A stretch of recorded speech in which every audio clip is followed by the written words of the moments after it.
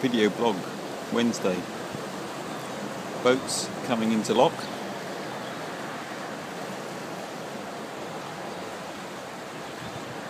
He says, slowly but surely. This is always quite good. You normally get a crash or two with these amateur drivers. Oh, that one's going to hit. That one's going to hit. Yeah, yeah, here it goes. It's to hit. Yeah, it's hit. I'll keep it rolling.